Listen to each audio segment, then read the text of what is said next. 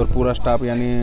Seventy के आसपास हमारा स्टाफ भी आ गया कि जिसको भी जहाँ मैसेज मिला जो ड्यूटी पे नहीं था, वो भी स्टाफ यहाँ आया और हमने आग बुझाने की कामगिरी स्टार्ट की। कामगिरी में हमको यहाँ कोई टीआरपी का अभी तक हमको कोई बंदा मिला ही नहीं था और दूसरी चीज़ कि हमको अंदर कितने आदमी वो भी पता नहीं थे। और हम आए, तब पूरा स्ट्रक्चर वो सब कुछ यानी कोलेप्स का, क्योंकि पूरा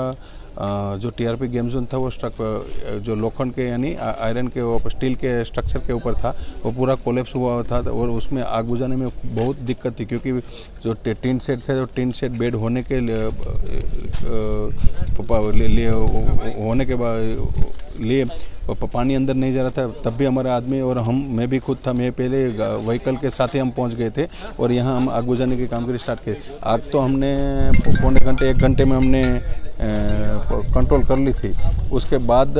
सर्च ऑपरेशन स्टार्ट किया और सब अंदर जो अंदर फंसे हुए थे, उसको हमने निकालने की कोशिश की।